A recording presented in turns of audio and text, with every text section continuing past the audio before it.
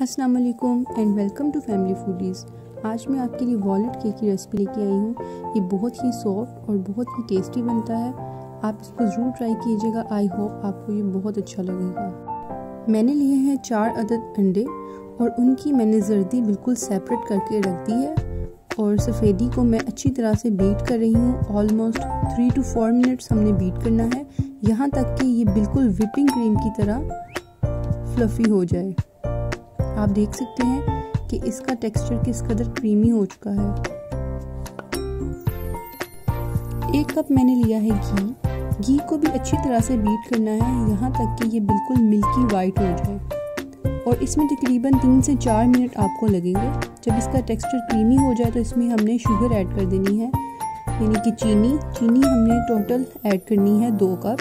लेकिन एक साथ हम तमाम चीनी को ऐड नहीं करेंगे, बल्कि step by step four parts में हमने शुगर को ऐड करनी है। जैसे ही शुगर डिज़ोल्व हो जाए हाफ़ कप आप नेक्स्ट हाफ़ कप ऐड कर दो। इस तरह से टोटल आपने four times half cup add करना है। ये मैंने फोर्थ पार्ट ऐड किया है शुगर का और इसके बाद अच्छी तरह से दो से तीन मिनट के लिए हमने हाई स्पीड पर इसको बीट करना है। अब इसमें ऐड करेंगे अंडों की जर्दियाँ, और इसको बहुत ज़्यादा आपने बीट नहीं करना, जस्ट इतना करना है कि ये अच्छी तरह से मिक्स हो जाए। जस्ट फॉर फ्यू सेकेंड्स यहाँ मैंने मैदा लिया है तीन cup baking powder one and half teaspoon baking soda half teaspoon and salt one pinch इस तमाम मिक्सचर को टू टाइम्स छान लें, और फिर half cup at a time आपने इसको केक बैटर में फोल्ड करते जाना है।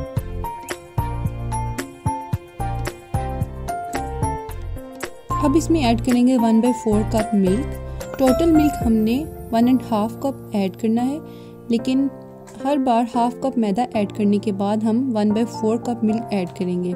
इस तरह से total one and half cup milk add चला जाएगा और तीन कप मैदा इसमें चला जाएगा केक बैटर में। इसको अच्छी तरह से फोल्ड करते जाना है और ख्याल रखना है कि आपने इसको मैदे को एक ही डायरेक्शन में फोल्ड करना है। इस तरह फोल्ड करने से आपका जो केक बैटर है, वो बिल्कुल लम्स फ्री बनेगा और इसमें कोई भी बबल्स नहीं जनरेट होंगे। और लास्ट में हम एग वाइट्स ऐड कर रहे हैं, जो कि सबसे पहले मैंने बीट करके रख ली थी। इनको भी इसी तरह यूनी डायरेक्शन में आपने फोल्ड करते जाना है।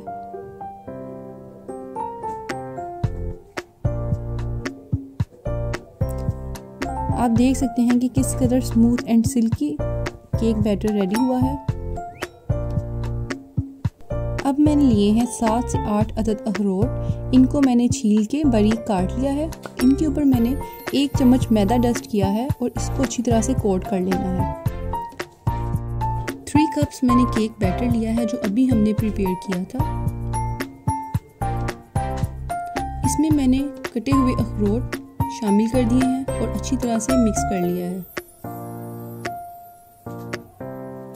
इसको हम केक टिन में डालेंगे। केक टिन ऑलरेडी ग्रीस है। और जो रिमेनिंग बैटर है, उससे मैं मार्बल केक बनाने के लिए यूज़ करूँगी। लाइक टोटल इससे आप टू वॉलट केक बनाना चाहें तो बना सकते हैं। यहाँ पर मैंने पतीले को प्री हीट कर लिया था 10 से 15 मिनट के लिए। इसमें मैंने केक टिन को रख दिया है। फ्लेम आप देख सकते हैं कि मीडियम लो मैंने कर दिया है। और 45 मिनट्स हमने इसको बेक करना है। आफ्टर 45 मिनट्स आप देख सकते हो कि ये बहुत अच्छी तरह से बेक हो चुका है। टूथ पिक की मदद से मैंने इसको चेक किया है, वो भी बिल्कुल क्लीन है। इट मीन्स कि ये बिल्कुल रेडी है।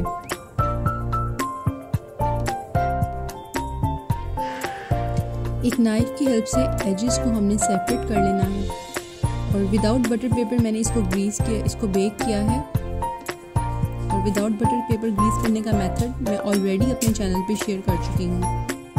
आप देख सकते हैं कि बिल्कुल इसको मैंने ट्रेडिशनल वे में प्रिपेयर किया है without oven and without butter paper ये परफेक्टली बेक हुआ है। इसे कट करके इसका इंटरनल टेक्सचर हम देखते हैं। ये सुपर सॉफ्ट है। और टेस्ट के लिहाज से भी ये बहुत ही मज़े का होता है। आप इसको ज़रूर ट्राई कीजिएगा। अगर आपको ये वीडियो अच्छी लगी हो तो लाइक करना मत भूलिएगा। चैनल सब्सक्राइब नहीं किया तो सब्सक्राइब कर दें। मिलते हैं नेक्स्ट वीडियो में। तब तक के लिए अल्लाह हाफिज़।